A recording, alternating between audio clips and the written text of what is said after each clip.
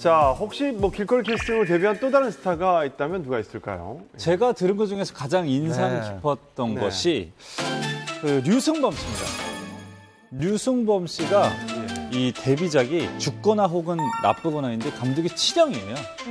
예, 친형 류승환 감독인데 이제 캐스팅 당시에 이제 예산도 부족하고 딱 맞는 캐릭터 찾기 힘들었는데 그 캐릭터가 바로 양아치 캐릭터였던 거예요. 아, 양아치가 필요한데 양아치에서 아 어떡하지 방문을 탁 열었는데 양아치가 방바닥에 누워 있었다. 누가 봐도 적격하네. 그냥 생양아치가 누워. 생양, 그렇지. 생양, 눈잔 밑이 어두웠네. 바로 캐스팅을 해서 이렇게 들어갔는데. 방바닥. 네네.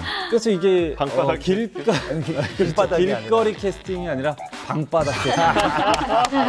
방바캐죠. 야. 네네. 이렇게. 자, 그리고 이제 그 거의 뭐 이건 거의 신화라고 보시면 됩니다. 네.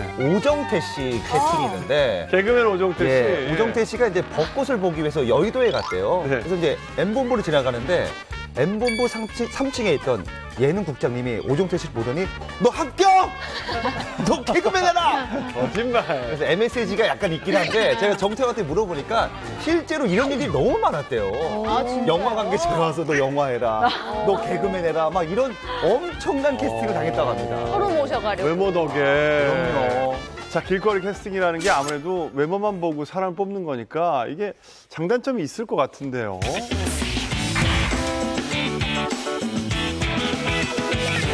실제로 사기도 많아요. 왜냐면 이건 실화인데 아는 분이 이제 건너서 제가 연예부 기자라고 하니까 아, 내가 얼마 전에 SNS DM으로 그 속사라고 하면서 배우할 생각이 있냐라고 자기한테 제의를 하더래요. 자기 이미지가 너무 좋다고. 근데 나가보고는 싶은데 이게 남자고 그 사람은 아이디가 뭔가 좀 어, 사진도 안 걸려 있고 이래서 그 기자를 통해서 확인해 보고 싶은 음. 거죠. 그래서 제가 실제로 이제 전화를 해서 물어봤어요. 근데 보더니 아니요, 저희는 그런 적이 없다고. 그래서 이런 식으로 그 여성분들한테 한번 만나 보려고 아. 거짓말로 배우해 볼 생각이 있어요. 이런 식으로 데이트 신청을 하는. 사람들도 있어요. 길거리 캐스팅 안 하는 이유 중에 하나가요.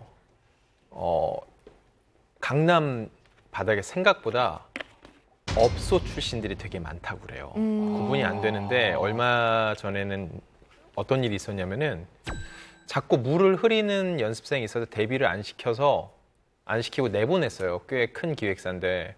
그리고서는 그 회사 사람이 얼마 후에 이렇게 접대 자리가 있어서 여성 종업원들이 나오는 그런 술집에 갔는데 그 아이가 들어온 거예요.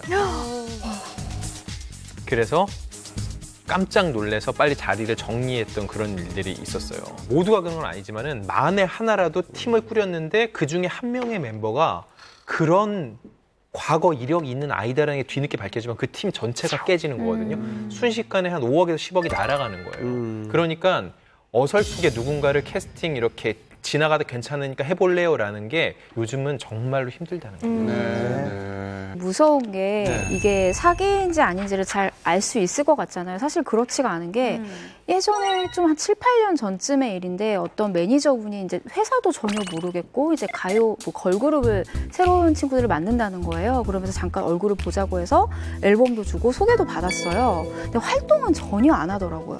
근데 몇 년 후에 이게 이제 이니셜로 기사가 났는데 그 친구들이 다 10대 애들이었는데 이 성접대를 시킨 거예요. 그래서 그게 기사화가 되면서 근데 뒤를 알고 보니까 이 친구들이 부모님한테 빨리 말도 못하고 그냥 절절 맸던 거예요. 그렇게. 그래서 몇 년 후에야 그 기사가 터지는 걸 보면서 정말 그때 알 수 없잖아요. 어쨌든 기자도 또 만나고 다녔고 분명히 다른 활동도 했고 싱글 앨범도 나왔었으니까. 네. 범죄고 사기. 야. 네, 진짜 조심하셔야 될 것 같아요. 자, 신인들은 CF나 작품 속에 단역으로 등장하는 경우가 많은데요. 간혹 신선함을 위해서 신인을 주인공으로 발탁했다가 화제가 되는 경우도 있죠. 네, 특히 CF 속 짧은 한마디가 강한 임팩트를 남기기도 하는데요. 그래서 준비했습니다. 풍문쇼 기자가 뽑은 CF로 데뷔한 스타의 한마디.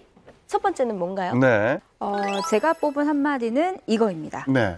어, 바로 원소기호가 나오는 카피.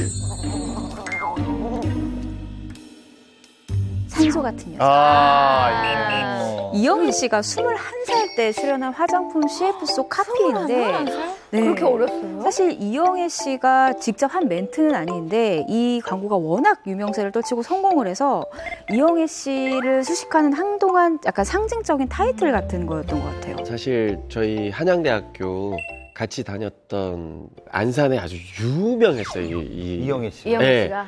남학생 하나가 굉장히 멋있었고 아. 여학생이 너무 예쁘다. 그래서 두 사람이 바로 이병헌, 이영애 씨였어요.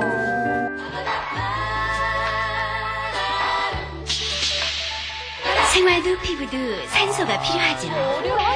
날마다 신선함을 느껴요. 어려 어려. 산소 같은. 근데 이영애 씨가 볼살이 있는 거 너무 신선한데. 그러게요. 근데 실제로 이영애 씨가 워낙 이제 하얀 피부로 유명하잖아요. 네. 화장품 모델은 정말 적격인데 신인 시절에 이 화장품 CF를 기획했던 분이 이영애 씨 피부를 두고 정말 피부가 너무 하얗고 투명해서 뭐 당시에는 상상을 초월했다라고까지 표현을 하더라고요. 대체 어느 정도였길래 그 궁금하더라고요. 제가 이영애 씨는 정말 쫓아다니면서 취재를 했던 것 같아요. 워낙 탑스타였고 또 비밀 결혼을 했고 그리고 결혼하고 돌아온 다음에는 이제 학교 수업을 받으러 가서 한양대학교까지 찾아갔었어요. 그때도 면바지에다가 셔츠에다가 갈색 가방 하나 들고 있는데 그렇게 멋있을 수가 없는 거예요. 그냥 레이디 앤이 했던 얘기 중에 이 표현이 저는 제일 잘 맞는 것 같아요. 투명하다. 사람 좀 투명한 느낌? 그냥 깨끗하고 예쁘다는 수준을 좀 넘어간 느낌이에요. 이영애 씨 뭐 CF 여신 아닙니까? 워낙 많이 찍었어요. 네. 뭐 전성기 시절에는 뭐 240여 240여 편 정도 찍었어요. 그래서 이런 유머도 있습니다. 이영애의 하루라는 이런 유머의 글이 있어요. 아침 일어나면 S빈으로 세수를 하고 이 샴푸로 머리를 감고 오전에는 W사 정수기 필터를 교체하고 오후에는 L사 카드를 들고 외출하고 밤에 되면 우리 집인 X 아파트로 돌아온다. 실제로는 이게 훨씬 더 길어요. 광고가 엄청 찍어갖고. 아, 대단했습니다. 각 예. 분야의 CF는 거의 다, 거의 다, 예, 예, 다 찍었어요. 찍으셨네. 예. 네, 그런데 사실 이영애 씨의 CF 데뷔는 이 산소 같은 여자가 아닙니다. 어? 진짜요? 기억하실 것 진짜? 같아요. 바로 이영애 씨의 진짜 데뷔는 복잡하게 생각할 거 없어요. 그냥 바로 투땡 초콜릿 CF였습니다.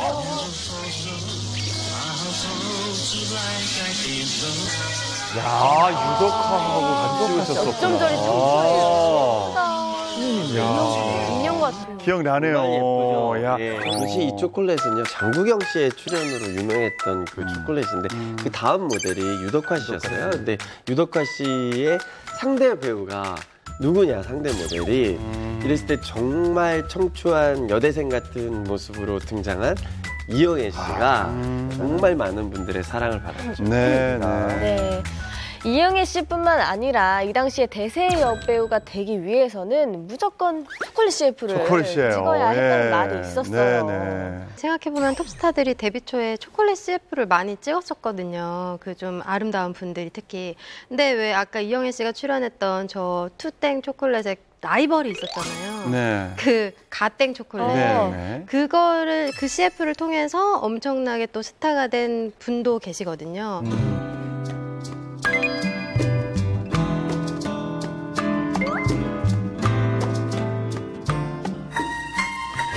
아, 너무 청순해요. 진짜. 와 함께라면 고독마저도 감미롭다. 기억납니다. 사실 지금은 우리가 최시라 씨라고 얘기를 하면 카리스마의 뭔가 대명사처럼. 네. 우리가 생각을 하잖아요. 하지만 데뷔 초에는 청순 여신이었습니다. 갓땡과 함께라면 고독마저 감미롭다라는 멘트와 함께.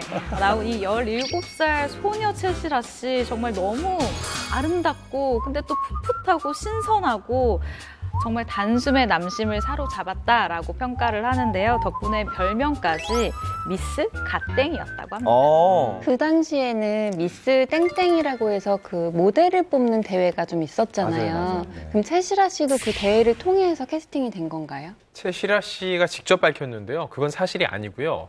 이 엘사에서도 그런 모델을 뽑는 대회는 있는데 중간에 몇 회 정도 폐지가 됐었대요.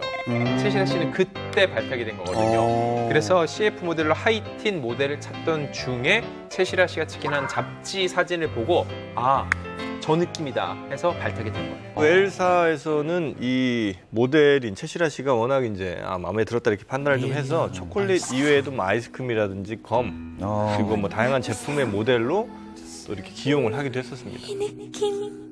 뭐 그때 최시라 씨가 얼마나 대단했냐면 이 학생 잡지의 구독 선물을 받으려면 그 잡지사에 가야 돼요. 그 잡지사에 선물을 받으러 갔다가 바로 그 잡지사 표지 모델이 된 겁니다. 구독 선물 받으러 갔다가. 어, 아, 이. 아, 이용진 씨가 굉장히 좋아하지 않는 류의 설화 같은 느낌. 그런데 그 갓땡 초콜릿 하면 뭐니 뭐니 해도 이미연 씨가 생각이 나는데 와. 남자분의 그 가을 자켓 안에다가 이렇게 옷을 이렇게 머리를 머리를, 넣었다가. 넣었다가 얼굴을 살짝 이렇게 내는 거 정말 패러디 많이 했거든요. 이미연 씨가 정말 대단했었죠. 네, 이미연 씨는 고1이었던 1987년 미스 로땡 대회에서 1등을 하면서 연예계에 입성을 했습니다. 이후에 드라마, 이 드라마 기억이 날 것 같아요. 바로 사랑이 꽃피는 나무 아, 기억하시죠? 예. 사랑이 꽃피는 나무에서 정말 예쁜 외모로 주목을 받은 뒤에 1988년 바로 화제가 된 그 CF 갓땡 초콜릿 CF를 통해서 청순함의 대명사로 등극하게 됩니다. 네, 그 드라마 응팔, 응답하라 1988에도 이 CF에 대한 에피소드가 등장을 하는데 혜리 씨가 이미연 씨 그 CF를 이렇게 패러디하는 장면이 나와요. 근데 재밌는 건 그 극 중에서 이미연 씨 아역 시절, 그러니까 어린 시절을 역할을 연기한 게 혜리 씨였잖아요. 그래서 이제 그게 뭔가 조금 재밌는 그런 포인트가 아 됐어요. 그런 장면이 아. 있었어요. 네. 해리 씨가 그 그 아. 네, 패러디 하듯이 이렇게 맞아, 맞아. CF처럼 이렇게 아, 숨어 있다. 청순했습니다. 뭐 과거에는 이 초콜릿 CF를 찍고 톱스타로 되는 뭐 그런 과정을 겪었다면 이제는 코- 초콜릿 광고를 이미 톱스타가 된 상황에서 찍는 경우가 좀 있는 것 같습니다. 어, 대표적으로 우리 아이유 씨가 아유, 초콜릿 광고 찍었다고 하는데 오. 오,